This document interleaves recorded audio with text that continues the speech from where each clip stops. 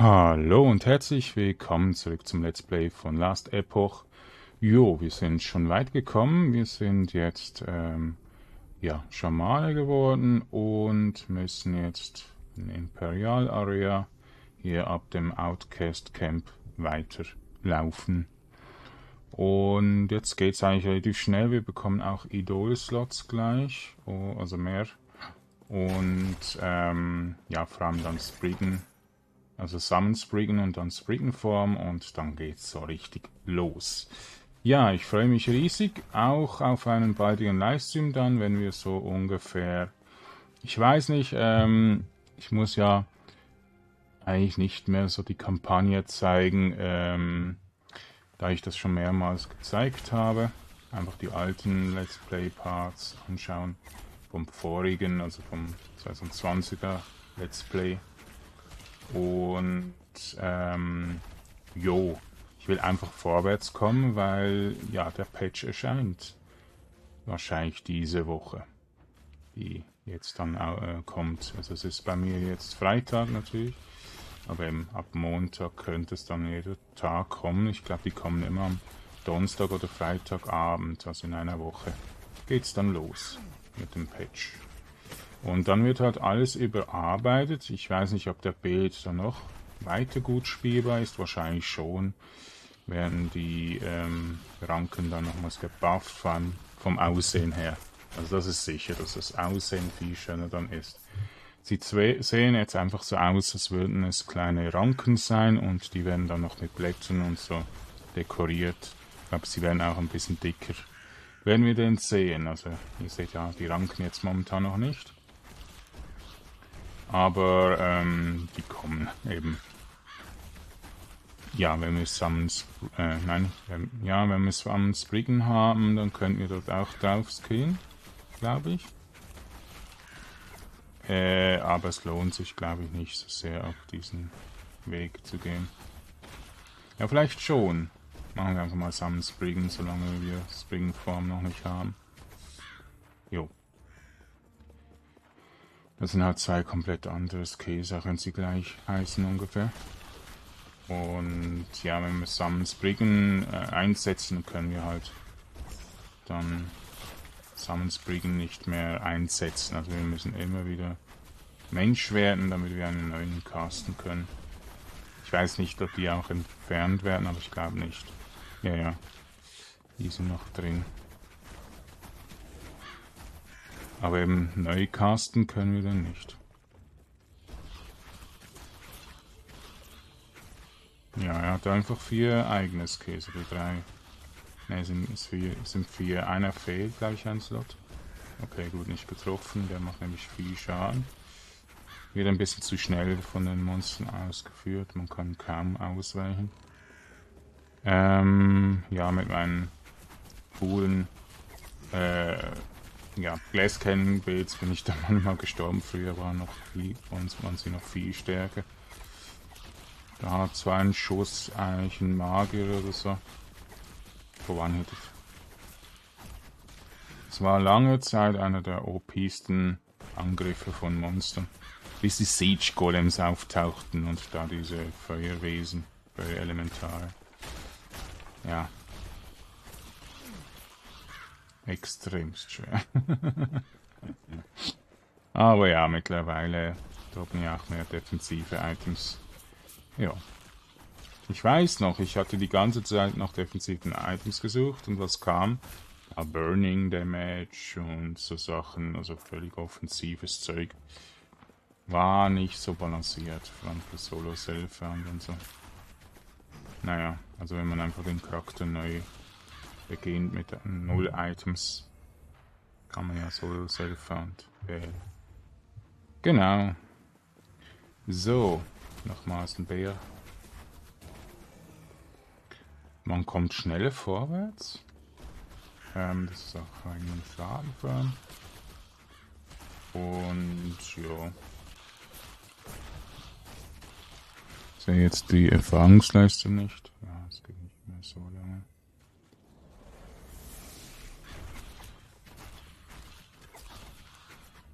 Ja, der Fenstermodus ist halt schlimm und ähm, im Vollbildmodus laggen manche Gebiete auf maximaler Grafik. Ich habe halt alles auf Ultra. Naja. Ist nicht so gut optimiert. Also die Engine ist einfach schlecht, weil sie Unity ist und die ist Freeware. Und ähm, ja, sehr anfängerfreundlich. also ja, Anfänger haben halt einfach Probleme mit der Performance, wie zum Beispiel ähm, ja, 11 Uhr Games, aber die sind nicht Anfänger. Die haben einfach das Problem, dass die Engine anfängerfreundlich ist. Da können sie das nicht so gut und schnell fixen, wie es nicht mehr so viel Schaden macht. Naja.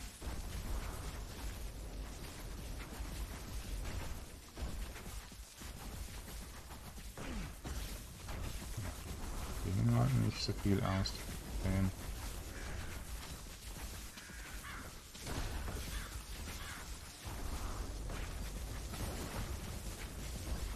So.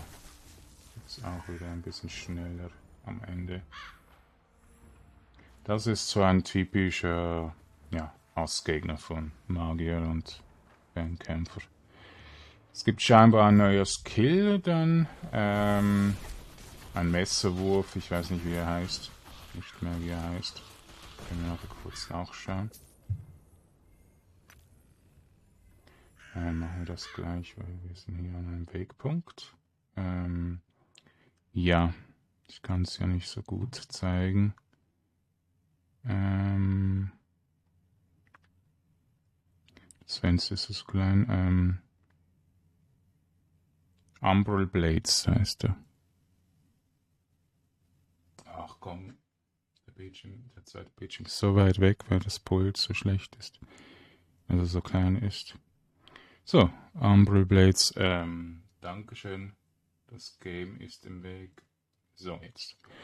Ähm, ja, Umbra Blades ist ein Dreierangriff, also zwei normale Angriffe, glaube ich.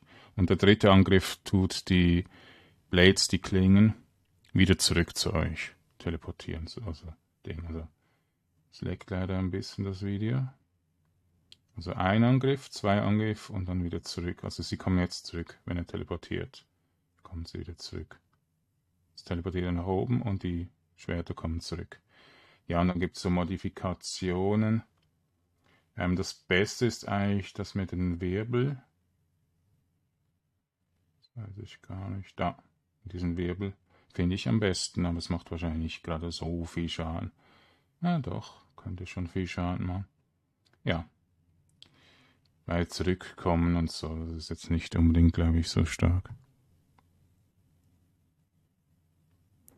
So, dann machen wir weiter. Ja, ich tue auch auf sehr gute Qualität hochladen. Dann sind so ähm, Dinger, äh, Videos und so sind halt ein bisschen laggy Ich weiß es auch nicht wieso, aber das ist halt OBS.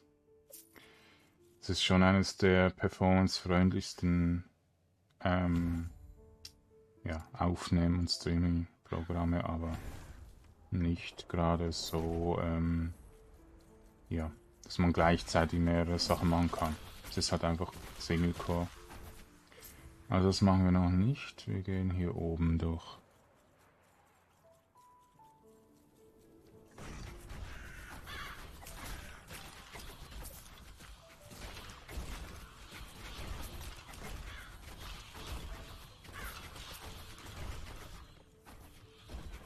ist wieder einer.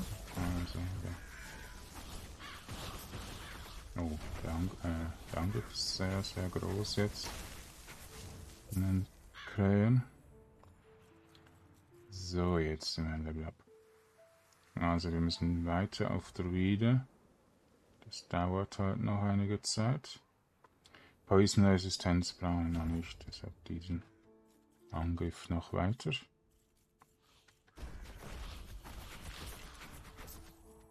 So, und dann haben wir auch bald die Summonsbriggen. Also ich weiß nicht, ob ich dort wechseln soll. Aber eigentlich lohnt sich schon. Weil die sind halt stärker als ähm, Ding. Äh, sag schon. Ja, einfach ein paar Buffs für die Totems oder so. Die machen dann natürlich auch sehr viel Aua. Aber ich weiß nicht, ob die Ranken Summon Spell Damage ist. Eigentlich ja nicht. Ranken Magier? Bin ja Nahkämpfer. Also eigentlich müssten wir... Ah, es gibt einen Angriff, den wir noch skillen müssen bei den Ranken. Genau. Und der Angriff, der ist Summon Spell Damage. Stimmt. Ja. Also so Rankenschüsse. Genau. Und die Totems natürlich auch noch. So. Ich tue eigentlich immer die Kiste mitnehmen da unten. Aber ja, es lohnt sich nie. Äh, ist ein bisschen verbuggt. Jetzt geht's ja. Okay. Das Fenster ging einfach weg. Hm. Gut, also, ähm. Jo. Ich freue mich riesig auf den Patch. Weil endlich wird meine Lieblingsklasse überarbeitet. Und dann könnten wir dann auch mal wieder ein Druiden spielen. Weil, ähm, dann ist der Druide natürlich wieder viel stärker. Weil das, ähm, diese Ranke, ähm, ja, dieser Dornenschuss eher, der ist dann wieder eher Physical, Physical Damage. Also eigentlich ganz. Und deshalb lohnt sich Druide wieder mehr zu nehmen. Ähm, können wir easy eigentlich schon wirklich von Anfang an sehr gut spielen. Haben wir noch eine Quest, glaube ich. Ah, das ist die. Also, dann machen wir doch mal zuerst die Quest mit dem äh, Ding weiter. Mit dem College. Also die Quest, die wir jetzt gerade gemacht haben. Das war das College. Kommen nicht rein, deshalb müssen wir eine Medaille oder also ein Erkennungszeichen nehmen. Bin glaube ich falsch. Mist, falsch. Ja, es zeigt nicht so richtig an, welche, welche Map es ist. Hm. Ja, das ist die Map, aber es ist näher an dem anderen Punkt. Halt immer noch schwer Asthma. Tut mir leid, wenn ich manchmal räuspern muss. Ja, ich hoffe, dass ihr trotzdem Spaß habt, mir zuzuhören. Ja, das ist halt immer ein bisschen problematisch. Wie viel Asthma-Kranken Kranke gerne einziehen würden. Es geht einfach nicht. Man hat immer im Hals und Bronchien Probleme dann. Also einfach an die, die allergisches Asthma haben. Das ist viel schlimmer als das Asthma mit dem, ja, nicht Sport treiben können oder so. Ja, ihr seid dann natürlich extremst eingeschränkt, weil auf viele Sachen seid ihr ein bisschen allergisch. Sei es Hausstaubmilben oder Katzenhaare oder Erdnüsse. Ähm, es gibt so als Gräser, Blüten. Ihr seid auf alles allergisch. Das ist schlimm. auf Koko. Also nicht das Koko, nicht Kokosnuss. So Ko. Na. So. Ich darf es nicht sagen. ja, man sollte es nicht sagen. Weil das ist natürlich nicht gerade so ein tolles Ding. Man braucht ungefähr 25 Medikamente scheinbar. Und dann Köch hustend im Krankenhausbett liegt. Ja, ist nicht gar so toll. Also liebe Leute, alle impfen. Sehr wichtig. Ja.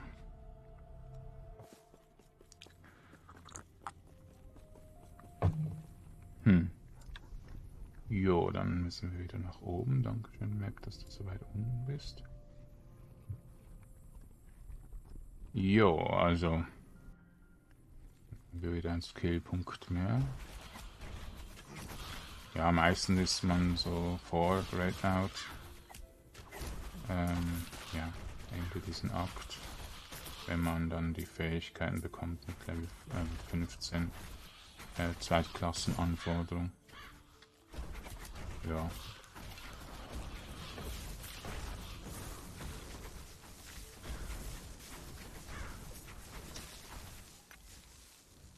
Beacon Armor. Hm.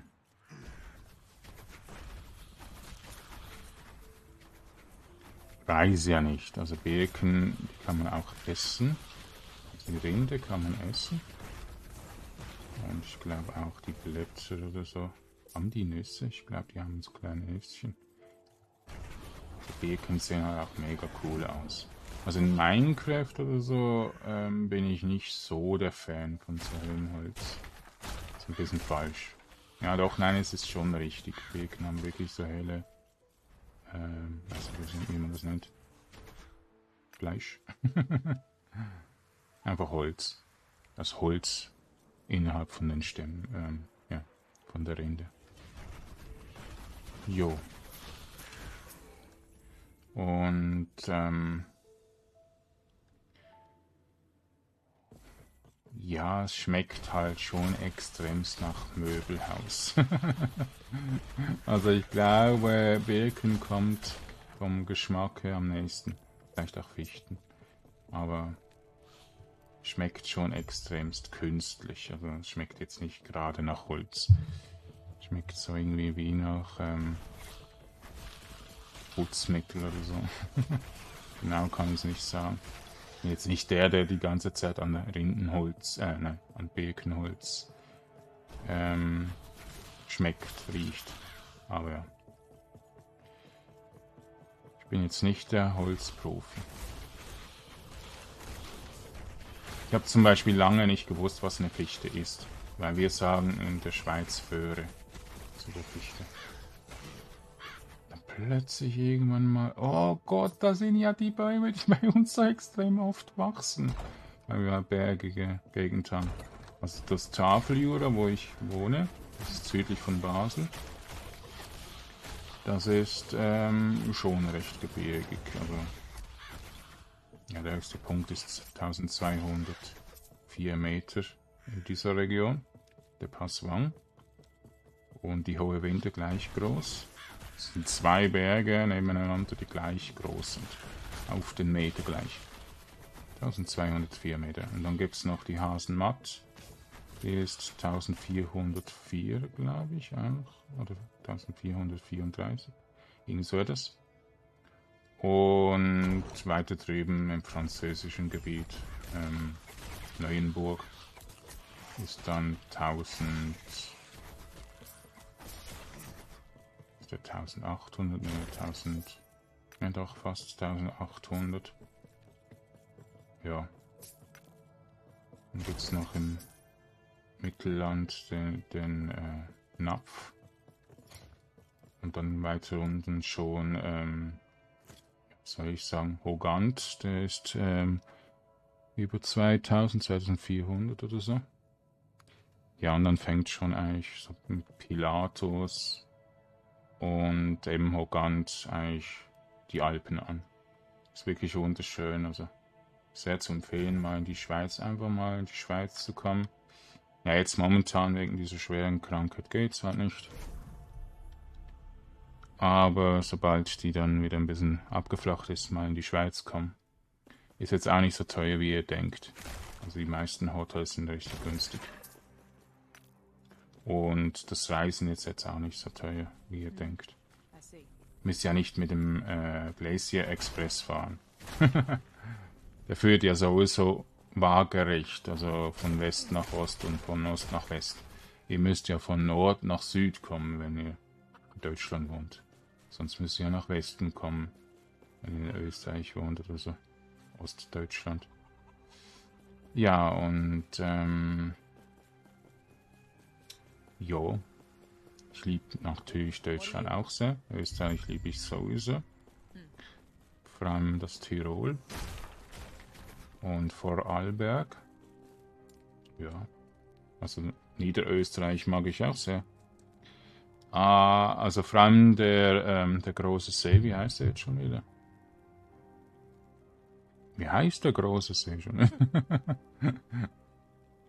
Gerade keine Ahnung. Gardasee? Nein, Gardasee ist in Italien. Uff. Keine Ahnung, tut mir leid. Jetzt habe ich etwas ausgesprochen, das ich eigentlich gar nicht aussprechen wollte, weil ich es nicht weiß. So, machen wir noch den Drachen. Äh, wir knapp, aber den Drachen können wir jetzt zuerst mal machen. Diese blöde Höhle hier oben, die machen wir dann im nächsten Part. Ist leider ein bisschen zu lange. Das sind zwei Ebenen, die sich extremst ziehen. Das leider eine meiner Hassquests in diesem Game. Aber dafür bekommt man zwei Skillpunkte. Einfach fürs Weiterlaufen. da sollten sie um die Hälfte abkürzen, bitte. So, wow. Seit wann ist das so mega funkelnd? Cool. Nice, nice. Hm. Ich glaube schon länger, aber nicht so intensiv. Das ist einfach wegen den besseren Grafikeffekten. ich muss ja im Last Epoch relativ reduzieren auf, auf sehr hoch. Und ähm, Ultra ist natürlich schon ein Zocken noch viel schöner. Ähm, jo. Wenn ihr wisst, wie man die Grafik noch besser machen kann, vielleicht mit Reshade oder so, könnt ihr das gerne mir erzählen. Also wenn ihr irgendwie Games kennt, die sich noch viel verschönern lassen außerhalb vom Optionsmenü, dann könnt ihr die gerne nennen. Mich interessiert das. Ja. Ähm, eventuell mache ich das dann später bei Skype, da mache ich ja ein Rollenspiel. Let's Play, ja, Let's Play wird jetzt nicht unbedingt so sein. Also es wird schon ein Let's Play sein in dem Sinne, dass ich alles zeige. Und natürlich mache ich sehr viel mit Story. Also zum Beispiel gibt es ja dieses Hearthfire äh, Add-on. Und da kann man ja ein Leben führen mit einem Haus, mit einer ähm, ja, Frau und mit Kindern, die man adaptieren kann. Jo. Und dann hoffe ich, gibt es bald mal wirklich gute äh, Rollenspiel-Mods. Ähm, ich würde gerne einen selber machen, aber ich weiß leider meistens nicht wie. Vor allem wie man halt einfach Sounds macht. Und wie man halt anfügt, dass ihr zum Beispiel ein Sprecher sein könntet. Das wäre geil, wenn ich das wüsste. So mit Soundeffekten kann ich halt auch nicht so umgehen. Werden wir dann sehen. Vielleicht gibt es ja Hilfe. Ich werde auf jeden Fall bald dann mal livestreamen, wie ich modde. Vielleicht kann ich dann ja mit Unity oder so dann mal ein Spiel machen. Ähm, hallo. Taskbar, geh weg! Ah, wieso ist die so lange angezeigt? Ja, ja, ja, ja, ja. Der Fenstermodus, kompletter Müll in diesem Game. Eben das Fenster ist ein bisschen nach unten rechts eher. Also es verdeckt leider unten und unten rechts viel vom Spiel. Also ich kann es ja mal zeigen. Ähm, genau hier ist der Balken. Also das sieht man gar nicht, die Schrift hier unten. Ja, was steht da? TPM, was sei das? Moment kurz. Ah, Spa, Spa steht. Okay. Und hier ist auch die Ecke. Hm, sieht man die? Wieso sieht man jetzt die Maus gar nicht? Das Spiel buggt. Jetzt sieht man, wie die Maus.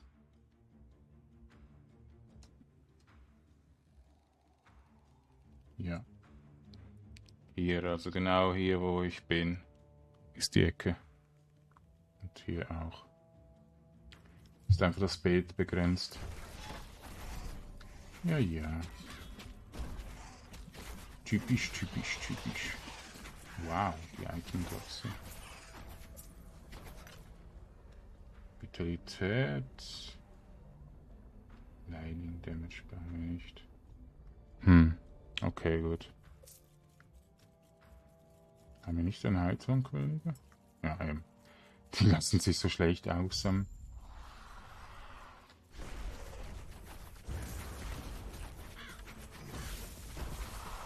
Ja, der ähm, Stormtoten kann eigentlich sehr stark werden, aber wir haben einfach überhaupt nicht die Items dafür.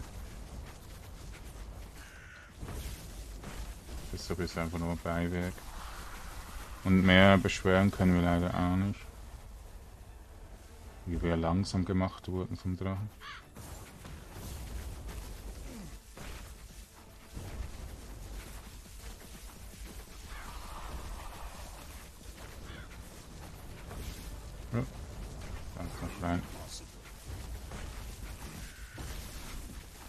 So, Drachen, der Drache ist tot.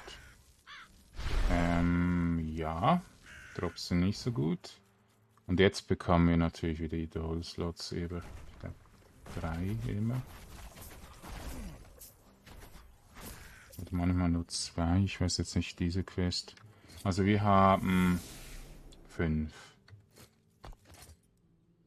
Nein, vier. Vier haben wir.